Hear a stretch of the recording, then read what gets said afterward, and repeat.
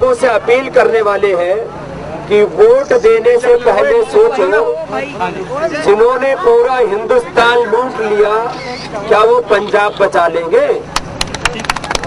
एक बात, दूसरी बात ये बताने वाले हैं वो ये सोचे वोट देने से पहले कि काला धन वापस आने से क्या मिलेगा? काला धन वापस आने से एक परिवार को 20 से 25 लाख रुपए मिलेगा। चुनाव से पहले लोगों से कहने वाले कि सोचे कि काला धन वापस आने से उनको देश को क्या मिलेगा?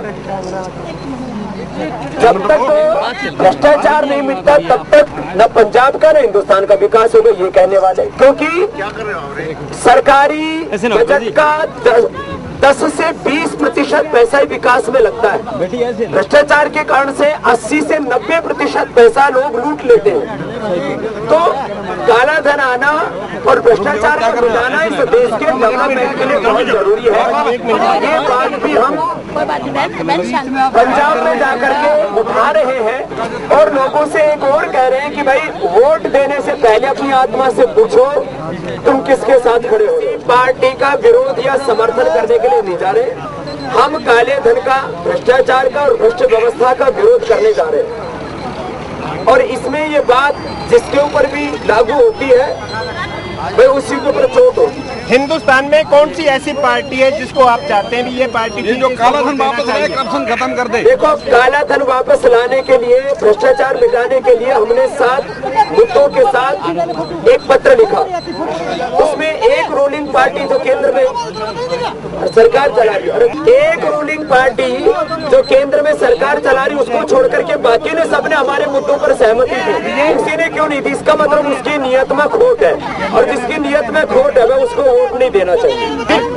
खासकर दिग्विजय सिंह कांग्रेस के आप भाजपा के साथ होने का। आप कहाँ तक मानते हैं? भाई वो मैं नाम तो हमारे बड़े बुज़ुर्गों ने कह रखा है जो बुरे आदमी उनके नाम ज़ुबान से ले लेने चाहिए। इनके ऊपर जूते और चप्पल फेंके जाते हैं तो यूँ कहते हैं पापा फिकवा रहा अरे इनके कर्म इनके ऊपर जूते चप्पल फिकवा रहे हैं इनके थप्पड़ मरवा रहे हैं। हम जूता चप्पल और थप्पड़ के समर्थक नहीं है।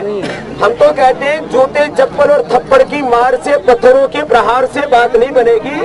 अब तो अब तो वोट की चोट करके लोकतंत्र की खोट दूर करो और वोट का प्रहार करके भ्रष्ट लोगों का राजनीति से बहिष्कार करो और भाई, जहाँ तक रही बात इस एक, उस पार्टी की, उस पार्टी ने संविधान और लोकतंत्र की हत्या कर दी है।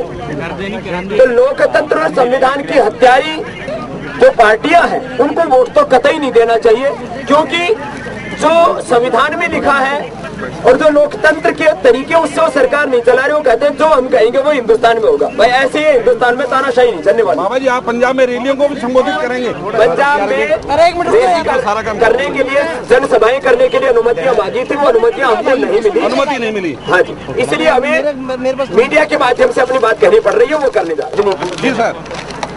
भगवान राम धार्मिक था या धार्मिक था? भगवान राम ने, भगवान कृष्ण ने, हनुमान जी ने, और हमारे गुरु नानक देव गुरु गोविंद सिंह ने सबने पंगा लिया इन भ्रष्ट बेईमानों के साथ। और संतों का को सदा सताया इन लुटेरों ने। इसलिए भाई, यदि राम, भगवान कृष्ण, हनुमान जी, गुरु नानक देव गुरु गोविंद सिंह सब ठीक थे तो बाबा ठीक है जो उनको ठीक ना हो तो बाबा ने भी गलत मान लिया। ठीक रहेगा बाबा ठीक रहेगा।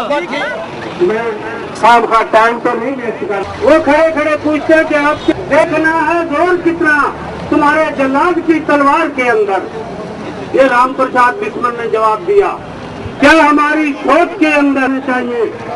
और जहाँ ये सारे रास्ते में लगने उखाड़ कर इनकी जगह एक सूरज के सुंदर नेताजी सुभाष चंद्र ने कहा था तुम मेरे पीछे चलते आना मैं आगे बढ़ और सच्चाई सामने आ जाएगी और भ्रष्टाचार खत्म होके अपने देश स्वतंत्र हो जाएगा। विक्टोरी को हम आज़ादी दिवस मनाते हैं हमारे कॉलेजों के अंदर शिक्षानों के अंदर उन शहीदों का इतिहास रखा गया। बच्चे पढ़ेंगे।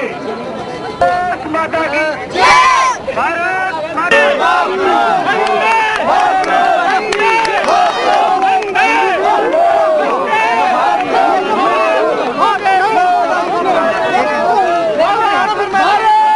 माता की